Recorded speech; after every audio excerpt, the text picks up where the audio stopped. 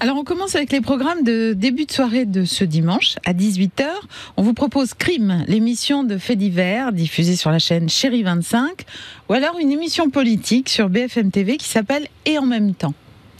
Ah, je regarderai en même temps parce que j'ai souvent regardé cette émission. On en était sûr. C'est Apolline de Malherbe. Ça vous Ouais. intéresse encore la manière dont la télé traite la, la politique? Non, parce que justement, c'est une émission différent. très différente. euh, Il y a souvent des invités surprenants. Donc, c'est vrai que c'est une émission que je regarde. Quand je peux la regarder, je la regarde. Eh, Mais dans l'ensemble, le traitement de la politique à la télévision, vous trouvez Ça me que... barbe. Ouais, ça vous Ah barbe. non, bah, jamais je regarde une vraie émission politique avec des questions politiques. Je ne peux pas. Je tiens un quart d'heure, mais je peux tiens. euh, D'ailleurs, moi, j'ai en fait rond, des émissions politiques, mais ils me mettaient dans la place du fou qui arrivait à la fin, et qui arrivait, qui donnait des coups de pied dans les guibolles, qui disait n'importe quoi. Il disait ah Gisbert encore. Mais c'est comment dire la politique en soi. On est tellement dans la langue de bois. Question langue de bois, réponse langue de bois. Mais comment on peut s'intéresser à ça puisque le politique il dit jamais la réalité. Alors de temps en temps, c'est vrai, il y a eu des très bons moments. les- L'émission qu'on faisait avec Pujadas, euh, des paroles et des actes. Ouais. Il y avait un truc, euh, comment dire Il y avait le moment avec l'anglais, il y avait le moment avec, euh, euh, enfin, euh, comment dire Il y, avait Nathalie Saint-Cric, je peux citer tous les autres d'ailleurs, mais qui faisait un peu de,